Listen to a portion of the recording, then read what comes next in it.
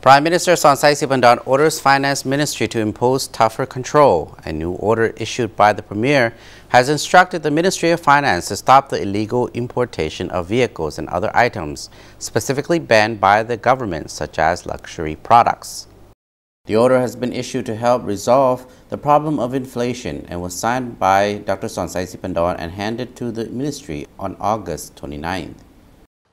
All imported goods must enter Laos at border crossing that are equipped with scanners and modern tracking systems so they can be inspected to ensure they comply with the law and that the appropriate customs duty is paid. The ministry was ordered to ensure that all goods and cash carried through border crossings are carefully monitored and that passenger identification machines are used to better regulate cross-border trade. To ensure that the correct import duty is charged, importers should not be relied upon to state the value of goods being imported and must provide a document from the factory or vendor stating the value of the items in question.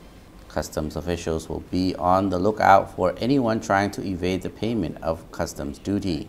The ministry was also ordered to ensure that full taxes are paid on goods traded online.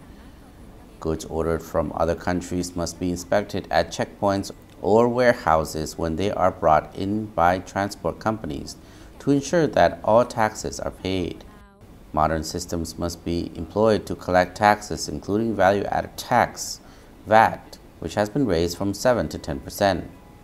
Consumption tax, profit tax, and income tax owed on goods and services used by foreign companies for electricity and mining projects must also be paid in full. The Finance Ministry was also instructed to look at ways to incentivize businesses to pay VAT and to improve the management of the import and export of various products by enforcing the law, especially in relations to VAT, so that businesses are more closely controlled. In addition, a consumption tax on imported luxury goods that can have a negative impact on health and society should be applied as soon as possible, as well as measures to stop all forms of illegal importation.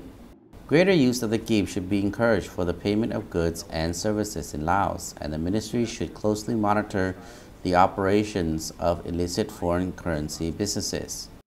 Lighter controls are needed to regulate the state budget with regards to foreign currency, and the Ministry of Finance must ensure that all foreign currency passes through the Bank of the Lao PDR. The ministry was also instructed to monitor the importation of registered capital, other capital, and the foreign currency earned by private domestic and foreign companies carrying out development projects to ensure their operations comply with the project contract and the foreign exchange management law. Departments that issues license for the imports and export of goods must require businesses to show a document certifying payment for these goods through the Bank of the Lao PDR as one of the conditions to be fulfilled before a license can be issued.